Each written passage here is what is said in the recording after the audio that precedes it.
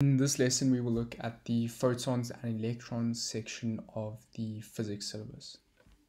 Now, when we look at this section, we look at the photoelectric effect, which is the evidence of the particle nature of light.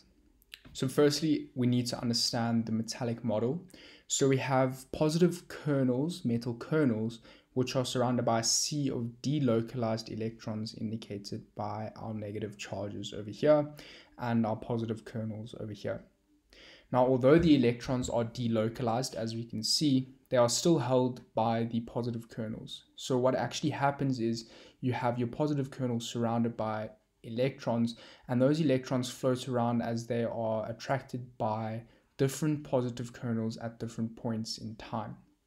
And that causes them to become delocalized in your metallic model. Now, to remove these electrons, work must be done on the electron when the work is done in the form of light energy so if we if we sh uh, shine a light onto our metal um, we do work on the electrons and in the form of light energy the process of removal of the electron is known as photoelectric emission. So light energy or light carries energy and gives electrons energy which leads to photoelectric emission. So when we look at frequency our F is, is the symbol for frequency and our symbol over here is for wavelength. When we look at high frequency, we look at gamma, X-ray and UV light, which have high frequency and high energy. Our mid energy, mid frequency and mid wavelength are the visible spectrum, what we can see, and a large wavelength and short frequency are infrareds, radio waves and microwaves, which are low energy. That's just useful to know and know how our frequency interacts with our wavelength. Then we look at a demonstration. So if we have a plate of zinc metal and we shine a high intensity red light onto that metal, we have less electrons and therefore lower leaf because we have lost electrons from our metal. The infrared has a lower frequency and therefore less energy and a low leaf. Whereas if we look at a low intensity UV light, we have a zinc plate of metal as shown here. Our leaf is higher because we have more electrons.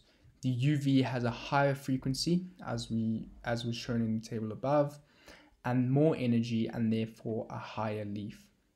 So as we can see over here, the photon or energy parcel that is released by the light shines onto the metal, gives the electrons in the metal energy. The electrons in the metal come to the surface and they are released in photoelectric emission. Now, if we have a quanta of electromagnetic radiation, that is simply the amount of light energy in a wave. A photon, when we refer to a photon, a photon is simply a package of light. And a quanta of electromagnetic, electromagnetic radiation is also called a photon. So photoelectric emission takes place immediately. We must know that there's no time delay when photoelectric emission takes place.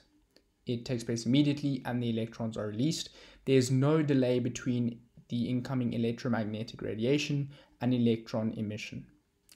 Our photons cannot be divided, so a photon gives all its energy to one electron. So when a photon of light or package of light comes onto our metal, the energy cannot be divided to a number of le electrons. It will simply be given to one electron, leading to photoelectric emission if that takes place. Our electron is only emitted if the frequency is above the threshold frequency of the metal, which is dependent on the type of metal as we will see now. And the energy of the photon is directly proportional to the frequency of electromagnetic radiation. So when you look at the energy of a photon, we have the formula E energy equals h, which is Planck's constant, which is 6.6 times 10 to the negative 34, times f, which is the frequency of our light. Now, in order to work out our frequency, we've got a number of equations over here. Our frequency is equal to Planck's constant over our wavelength, and we can then link that back to our energy of our photon. And in the same way, we can rearrange these to get our energy over our h equals Planck's constant over our wavelength. And then we can get that our energy of our photon is equal to Planck's constant times, sorry, is equal to the constant speed of light, which is 3 times 10 to the 8 times Planck's constant over our wavelength. And if we look at the speed of light, which is our wave equation, could this is referred to as our wave equation. We have c is our constant, our speed of light, 3 times 10 to the 8. We have our wavelength, so our constant speed of light equals our wavelength times our frequency. And we can use this to solve for the frequency or the wavelength of our waves or our energy packages. When we look at threshold frequency and the work function, our work function energy, which will be referred to a lot, is the amount of energy required to allow an electron to escape. It is the minimum amount of energy that you need in order for an electron to be emitted from a metal. So your work function energy, which is E, is equal to Planck's constant, which is found on your formula sheet, times your threshold frequency. Now your threshold frequency is different for each metal and we will learn how to solve for that coming up. The energy of the incident electromagnetic energy is all transferred to the electron. Part of the energy is used to release the electron, so a certain amount will be used to release the electron from the metal, from the bond, and the rest is transferred to kinetic energy. So the rest of the energy that is left from the photon that is not used to break the bond and release the electron is then transferred to kinetic energy and that determines how fast the electron leaves the, the metal. So when we look at photon energy, it's simply our work function, which is the amount of energy used to release the electron, plus our max EK, which is our kinetic energy of the electron. So the full photon package of energy is divided into our work function, the amount used to release the electron, plus our EK, which is the speed or the amount of energy that it has when it moves off. So HF, this is now photon energy from our equation above where we had our photon energy above and we now have HF equals HF naught, which is our work energy as we see here, our work energy is hf naught plus our max ek, which is simply half mv squared from our kinetic energy formula. Or this can be translated to h times c over wavelength because we know that E is equal to h times c over our wavelength. Then we move on to the photoelectric effect. Now, when they made predictions, they made predictions based on wave theory they predicted that electrons should be emitted for any frequency of light after a delay during which electrons gained enough energy to escape from the metal. And they predicted that high intensities of electrons absorbed more energy and therefore should have higher EK or kinetic energy. Now, these predictions were both wrong, and their actual observations, which became true, are if the frequency is above the threshold frequency, your electrons are emitted instantaneously, and below your threshold frequency, no electrons are emitted. So if you have a metal that has an, an, a threshold frequency and your light is above that threshold frequency, you will have an immediate um, emission of electrons. And if the frequency is below your threshold frequency, there will be no emission of electrons. If you are above your threshold frequency, the number of electrons emitted per second is directly proportional to the intensity of light. So by this we are saying if you increase your intensity of your light, you increase the number of photons per second and one photon emits one electron. Therefore, we can say that more electrons are emitted with a higher, higher intensity light. We look at kinetic energy of the emitted electron, varies from zero to maximum value, which depends on the frequency of the light and not the intensity of the light. So if we look at a graph like this, we have sodium and we have aluminium. Now, the gradient of these graphs is your H, which is your Planck's constant, you're plotting your kinetic energy against your frequency. Your y-intercept in this graph is simply your work function, which is the minimum amount of energy required to emit the electron. Now we can see that your NA has a lower y-intercept or a more positive y-intercept. So, and our aluminium has a more negative y-intercept. So we know that we're going to need more energy to release an electron from aluminium. And this is because aluminium has a higher charge. It holds onto its electrons with more force and therefore a higher work function or amount of energy is required to move your electrons from your aluminium. So you may be given a graph such as this in an exam or test where you will be asked to explain how this works and you'd simply refer to your y-intercept as your y as your work function and your gradient as Planck's constant and your frequency plotted against your kinetic energy which you get from hf equals your work function plus ek which you solve into a y equals mx plus c equation.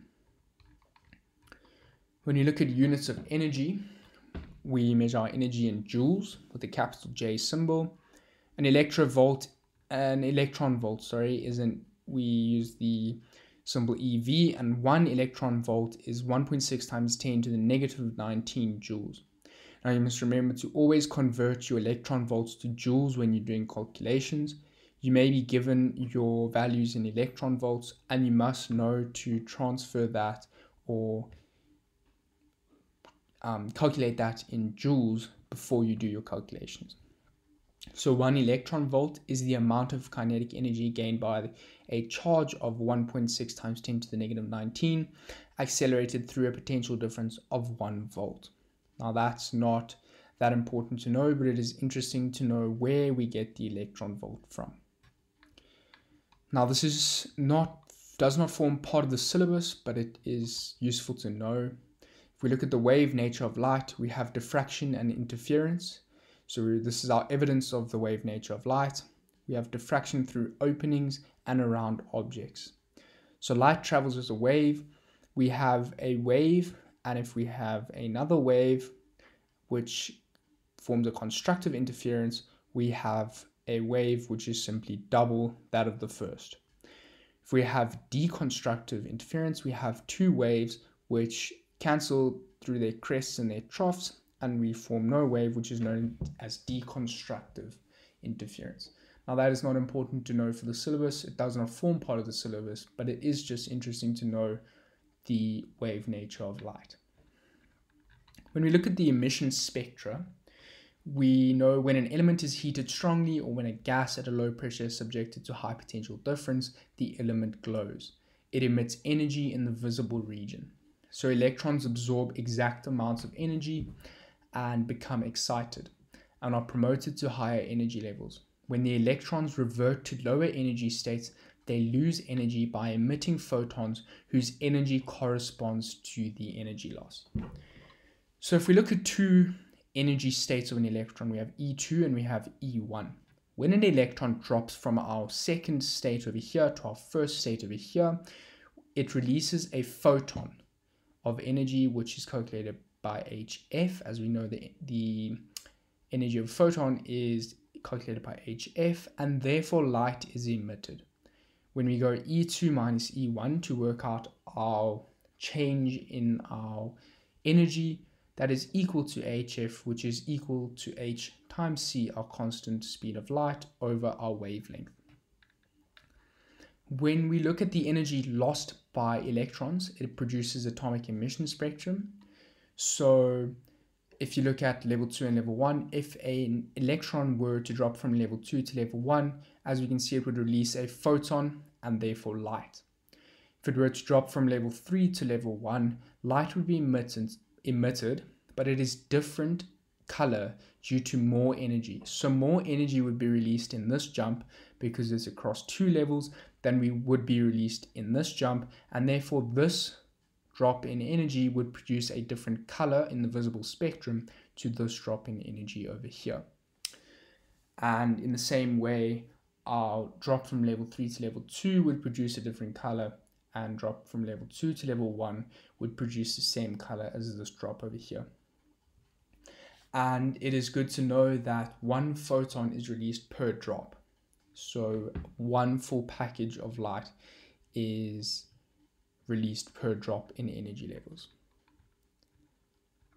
So then we have a more complex electron configuration of atom will lead to more complex spectrum. So it would obviously produce a more complex spectrum like this. So when we look at our drop from 3 to, to 1, we have our spectrum over here. And when we have a drop from 2 to 1, we have a spectrum over here. And our drop from 3 to 2 is off the spectrum in this case. And they will often ask you to work out your wavelength or your frequency or the energy released given cases such as these ones suggested here, but they will give you values for each level and or they may give you the frequency or the wavelength and you will be asked to calculate for the unknown. But please keep a lookout on our page for our practical workings and going through examples and we will definitely be sure to go through an example of and of this nature. So it's also important to know every element has its own distinctive emission spectrum, and that is how scientists are able to identify what objects and substances are made up of because we can identify the emission spectrum of an element and therefore identify what we're dealing with.